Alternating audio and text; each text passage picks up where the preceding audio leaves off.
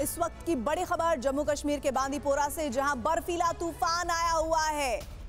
और जानकारी ये है कि सोनमर्ग में ये बर्फीला तूफ़ान कहर बनकर टूट रहा है। कैमरे में कैद हुई है एवन लॉन्च की तस्वीरें। सोनमर्ग में बर्फीले तूफ़ान में वर्कशॉप डैमेज हुई है।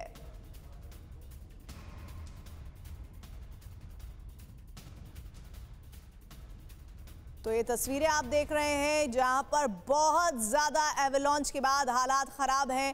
जम्मू कश्मीर के बांदीपोरा में बर्फीला तूफ़ान आया हुआ है, सोनमर्ग में। ये बर्फीला तूफ़ान, बांदीपोरा और सोनमर्ग, दो तस्वीरें देखिए और दोनों ही जगह स्थितियाँ एक जैसी हैं, जहाँ पर सोनमर्ग में बर्फीले तूफ़ान में वर्कशॉप डैमेज हुई है। वहीं दूसरी तरफ़ आप तस्वीरें देख रहे हैं बांदीपोरा की, जहाँ पर बर्फीला तूफ़ान आया हुआ है।